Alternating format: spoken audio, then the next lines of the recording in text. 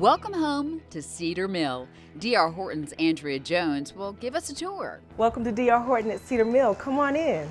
D.R. Horton is America's number one new home builder. And here at Cedar Mill, Andrea says they offer something for everyone. There's something for the first time buyer and move up buyer, even for the downsizer who had this huge home and large yard and wants to downsize, still stay in a single family home, but don't have the um, responsibility of lawn maintenance on a huge yard.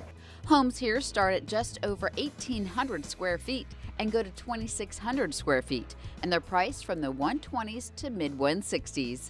Granite countertops, hardwood floors in the foyer, and 9 foot ceilings all come standard in your D.R. Horton home.